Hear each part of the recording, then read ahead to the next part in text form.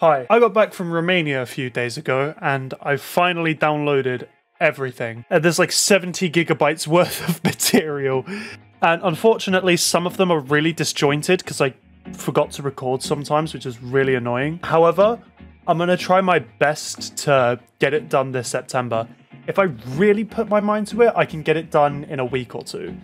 But obviously, uh, I have a big problem in a few days the educational system. And that's going to take my video production and grind it to a halt. I'm going to try my best to get this video done and then shit out some other content that you probably won't find as interesting, but I'll try my best.